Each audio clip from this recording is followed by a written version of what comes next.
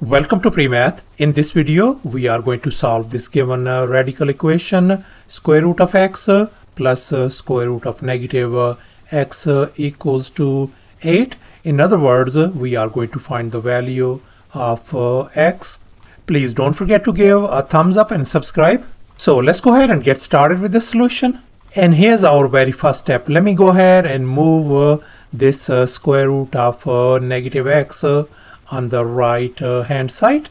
So therefore we are going to get uh, square root of x uh, equals to 8 minus square root of negative x on the right hand side.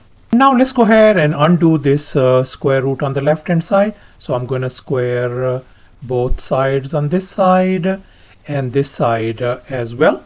So on the left hand side, this square and square root, they undo each other. So we ended up with the x uh, equals to, and now let's recall this uh, famous identity, a minus b whole square could be written as a square minus 2ab plus uh, b square. We are going to apply it uh, on the right hand side. So therefore, right hand side is going to become uh, 8 square is uh, 64 minus uh, 2 times uh, 8 is 16 times square root of uh, negative x plus the square root of uh, negative x and then whole square. And now let's focus on this part over here. This square and square root uh, undo each other. So we just simply ended up with the negative x. As you can see in this uh, next step, I have replaced uh, this part uh, by just simply negative x uh, over here. And now let's go ahead. We can write uh, x equal to 64 minus uh, 16 times square root of negative x.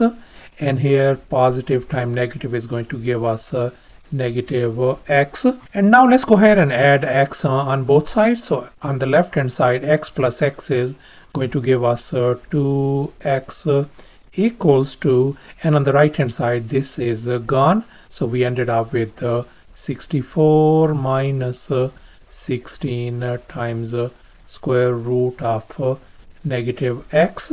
And now we can see that this uh, equation is divisible by 2 across the board. So let me go ahead and divide each and every term uh, by 2 so therefore we are going to get uh, x equals to 32 minus uh, 8 times the square root of uh, negative 8. Now let's go ahead and move this uh, 32 on the left hand side.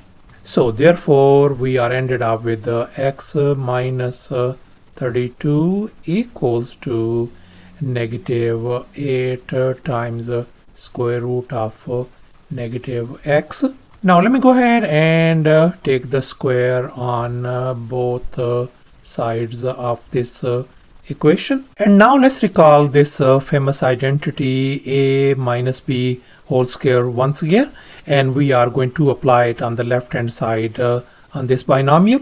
And since we are running out of the space on the left hand side, so let me go ahead and proceed uh, on the right hand side. So this uh, side is going to become uh, x square minus uh, 64x uh, plus 10 uh, 24 equals to and let's focus on the right hand side uh, negative 8 uh, square is going to give us uh, 64 and this uh, square and square root undo each other. So we are going to get simply negative x.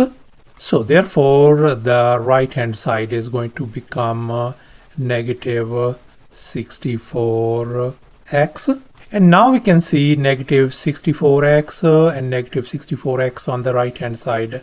They cancel each other out. So therefore we are going to get uh, x uh, square plus uh, 10 uh, 24 equals to 0.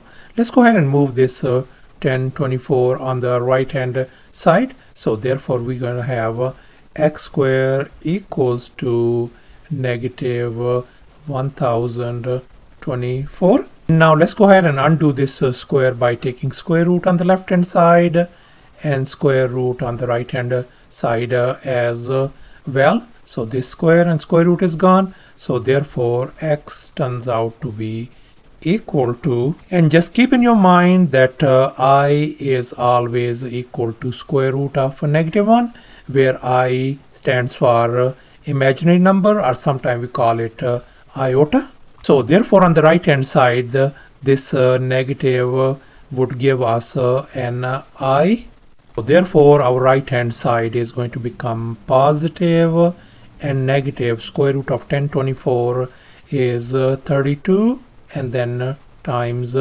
i. So thus our solution x turns out to be equal to positive or negative 32 times i and if we split uh, these positive and negative signs so we're going to have two solutions x equal to 32 times i and uh, x equal to negative 32 times i and since we are dealing with these uh, imaginary numbers so therefore no real solution exists.